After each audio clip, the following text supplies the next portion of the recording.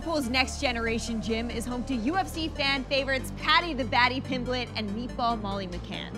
Since joining the UFC roster, the proud Scousers' boisterous personalities and entertaining fights have really just taken the MMA world by storm.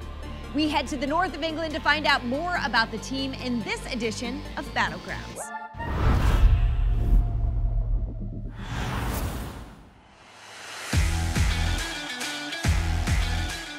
Been fortunate enough to have trained a lot of really good fighters over the years. Terry Etim, Rosie Sexton, Danny Roberts. We've had different generations of fighters throughout the 20 years that I've been doing this. Patrick Pimblett representing the next generation gym in Liverpool. For me, the one that kind of always stood out is the loudmouth, skinhead, braces, Patrick Pimblett. Paddy Pimblett, big front kick, surging forward again. When he first started, he was a skinny boy that just had this belief in himself that he was going to be the best ever. Paddy, the Baddy Pimblett. When I first signed, I still had a skinhead. A few fights later, I grew my hair a bit. Cage Warriors come to the Echo and they'd never seen nothing like it. He's not worrying about the foul. Get the sense that you're witnessing something special. We had it in Dublin with Conor McGregor. We might just have it in Liverpool with Paddy the Baddy Pimblett. He has always stood out from the crowd. He's got this self-belief you either have or you don't have. He has that in abundance.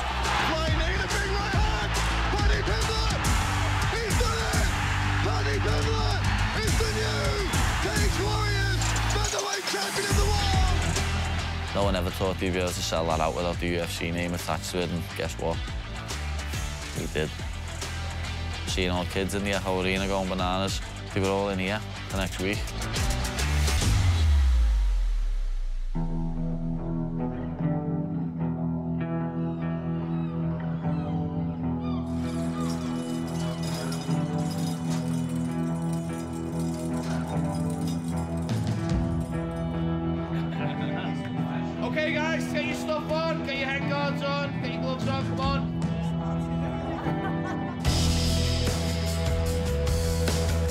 When I first found like a, an interest in UFC, it was clear to me that there wasn't anywhere I was going to be able to do it locally. I moved to America in my early 20s. I moved into a gym which was called Next Generation. The jiu-jitsu they taught was very MMA focused. It became apparent to me that this was the way that I wanted to do things when I got back to the UK as well. I didn't want a gym that was plain and boring, because that's not us either. Downstairs, we got like alien graffiti and made it look like it was a spaceship sort of vibe. Okay, guys, if you do jiu-jitsu, let's go, come on. My main qualification or credential is my third degree Brazilian Jiu-Jitsu black belt. Obviously, Paul's a heavy set man.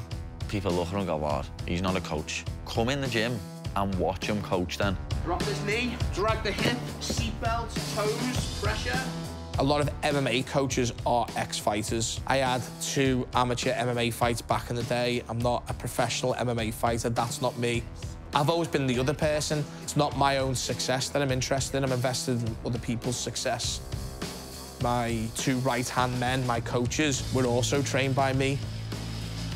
Ellis is a phenomenal coach.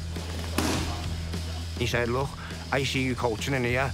Anytime you want to finish fighting, you come to me and tell me. And from there, you're going to be my assistant coach. In a very selfish way, it's good for us all that Ellis retired because the team wouldn't be doing as good as it is. Now drop, drop, drop, drop.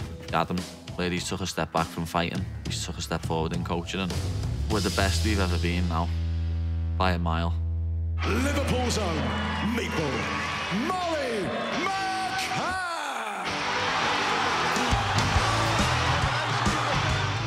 I'll never forget the first time I seen this skinny little lad with these big braces and he was just all gangly like that. It's like, hi lad. It's like, I'm Paddy. It's like, hi, I'm Molly. McCann on the shoulders. And Paddy Pimblett there. She's like my big sister, and we're there for each other all the time. McCann, big hooks. Terrell's trying to tie up. See everything and it's over. They've been friends for a lot of years. They've grown up together, they've been through the sport together. They've seen each other's ups and downs. Both of them are genuinely amazed that they're in the position they're in now. They just love it and they just want to share that experience together. The fact that we don't have to go to UFC on our own always helps. We've seen the past two times when they've been on the same card together, it's been magic. We've created the show and ran away with the show. Well, we are not in London, England, but I'm not sure Molly McCann has ever been this excited to make a walk and compete on the greatest proving ground in the sport. Oh, nice left-hand connection and a right for McCann. Oh, my oh, goodness. She's an. Oh,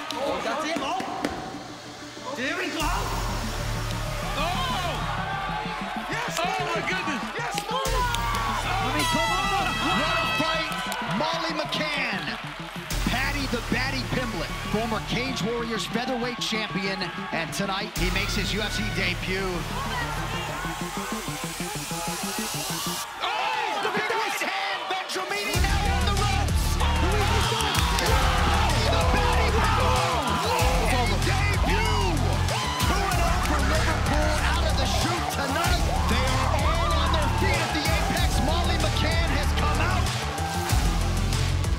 Imagine being able to live your dream with one of your best friends.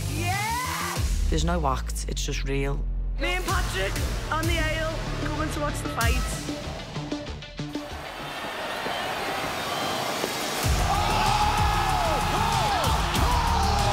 That'll do it, Michael Chandler. They're getting flew to pay-per-view events by the UFC to be guest fighters. They're becoming one of them names that people talk about that don't necessarily know much about the sport, but they've heard of Paddy and they've heard of Molly. Just follow me, just follow me. There's a lot of kids in Liverpool now that don't know who the Beatles are, that know who Paddy and Molly are. It's great to see the charity work that they do. Paddy and Molly are both actively involved in so many things.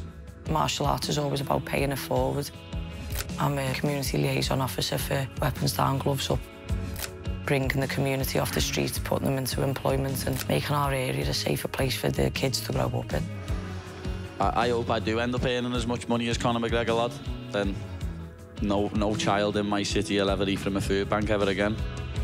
If you've got that much money, you should give back to your own community. You should help the people who got you there, because it's not just your own family that got you there and your coaches and the gym that's got you there. It's your environment, it's your local community.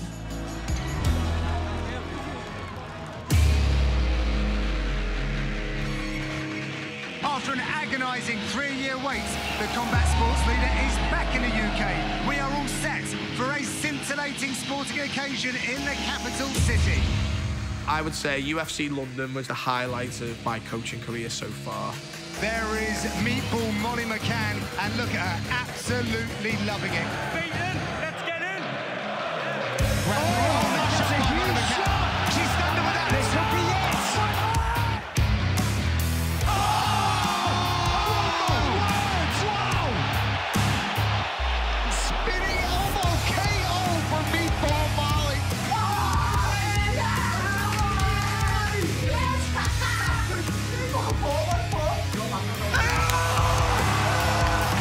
couldn't believe it as much as everyone else in the crowd couldn't believe it.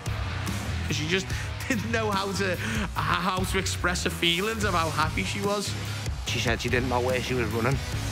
And then there was someone holding a pint to her and someone holding a belt. And usually she'd be taking the pint first, wouldn't she? But she took the belt. Paddy, the Baddy. This guy, he is not short on confidence. Body triangle. He's got the body triangle. Although, this looks tight. This could be it. He's done it. Paddy has done it in London.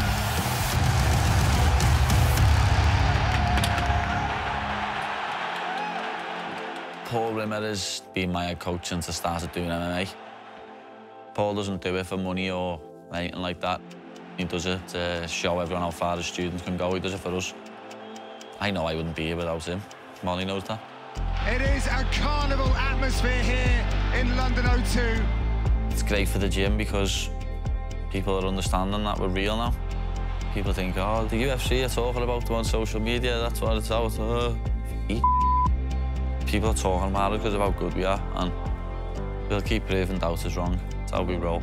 Listen, you want equal fans and haters to keep the love, lads. to keep the love.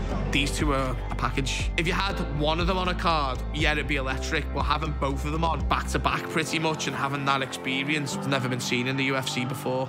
And we see it in the gym every day. It's great every day that you walk in. Everyone wills everyone else to win. Everyone wants everyone to succeed. We're all different types of characters, but we gel well together. We might stand around and have a laugh with each other, but that's because we're all mates. When it comes down to it, our fight results talk for themselves. I don't know what's next for next gen. I'd love it to be UFC world titles. That's going to be in maybe a couple of years. I'd love to see some of the kids coming through the kids programs. I'd love to see more of my students get the black belts. We're not just about, oh, there's our success, great. We're like, okay, what are we going to do next? How are we going to raise the bar? I'm looking forward to seeing what the next 20 years hold for us.